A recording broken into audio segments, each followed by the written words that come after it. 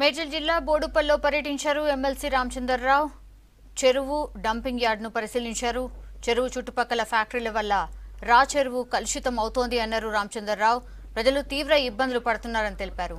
వెంటనే ప్రభుత్వం స్పందించి చెరువును క్లీన్ చేసేలా చర్యలు చేపట్టాలని కోరారు.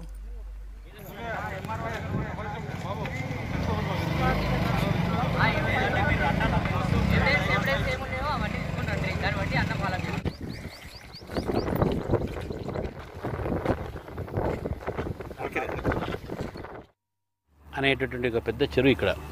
గతంలో తొం పంతొమ్మిది వందల తొంభై వరకు ఈ యొక్క చెరువు మంచి నీటితోని నీటి యొక్క సరఫరాతో ఉంటుండే. కానీ చుట్టుపక్క chemical industries Mallapuram industrial area develop కావడము ప్లాస్టిక్ ఇండస్ట్రీస్ రావడము వెఫ్యులెంట్ ట్రీట్మెంట్ ప్లాంట్ లేకుండా మొత్తం కూడా ఈ చెరువులో వేసిన తర్వాత ఇక్కడ నీళ్ళు కూడా కాలుష్యం అయిపోయి భూమి అంతా కూడా కాలుష్యం అయిపోయి పక్కన చుట్టుపక్కల ఉన్న వాళ్ళ గ్రౌండ్ వాటర్ అంతా కూడా కాలుష్యంతో ఉన్నది. ఈరోజు పరిస్థితి ఎట్లుందంటే ఇక్కడ చెరువులో మనం నించున్నాం ఇక్కడ ఎండిపోయింది.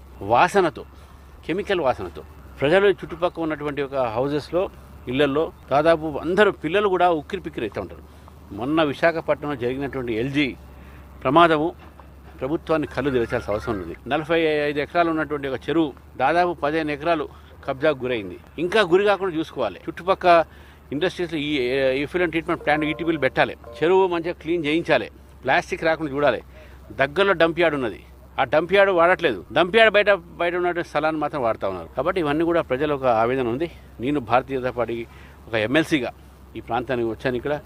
చూశాను. తప్పకుండా ప్రభుత్వానికి ఈ దిష్టిపైన నా ఒక అభిప్రాయం రాస్తాను.